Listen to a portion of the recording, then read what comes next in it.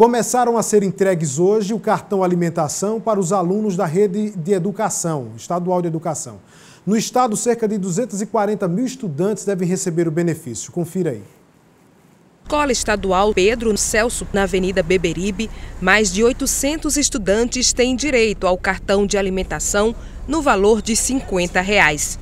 A entrega está sendo feita na quadra de esportes da instituição, aos pais ou responsáveis. Somente os alunos da EJA, Educação de Jovens e Adultos, não precisam de responsáveis. Nós estamos recebendo né, os alunos do EMEJA, Ensino Médio de Jovens e Adultos, agora pela manhã, e é, entregando os cartões a cada um. Então está sendo por uma ordem. No Recife, a entrega dos cartões será feita hoje e amanhã. Os pais devem respeitar a um cronograma para não haver aglomeração. No ginásio pernambucano, na Avenida Cruz Cabugá, a entrega também está sendo feita na quadra de esportes, onde há muito espaço para não ter tumulto. Só um cartão é entregue por família.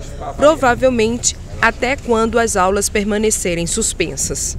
Nós montamos um calendário de entrega que começa, por exemplo, hoje e amanhã, dia 20 e 21, aqui no Recife. Nós sempre um, dois dias de entrega em cada escola, para que a gente possa fazer isso com muita tranquilidade, sem aglomerações.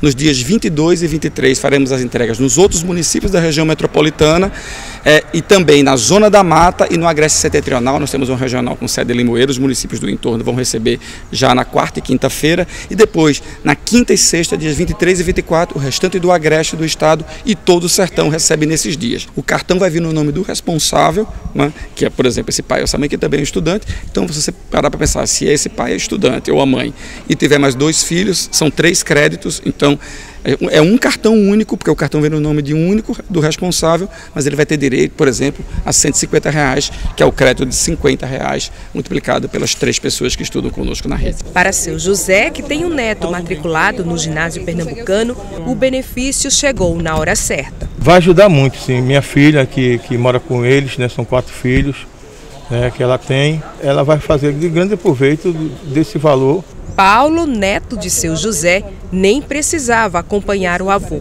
mas fez questão, com a plena consciência de que o benefício vai ajudar a família. A minha mãe não está desempregada no momento e meu avô trabalha como funcionário público.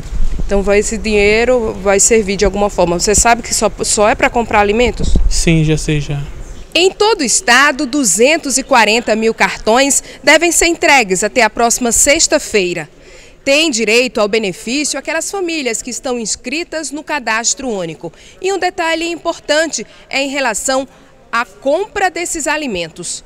Nada de refrigerantes, biscoito recheado, macarrão instantâneo, doces e muito menos bebida alcoólica. O foco são os alimentos que o estudante já tinha na escola, no dia a dia da merenda dele, na preparação né, da merenda na escola. Então a gente vem essas recomendações dos itens que são os itens recomendados, são itens que já fazem parte da merenda, o feijão, o arroz, ovos, frango, o floco de milho para poder fazer o cuscuz, entre outros, frutas, verduras. O cartão é um cartão alimentação.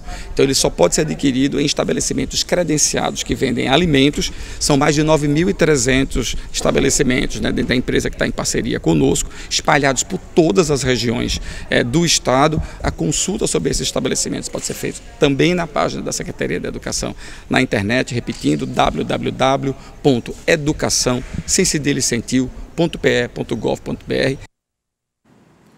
Reforçando o site educação.pe.gov.br, sem cedilha e sem tio.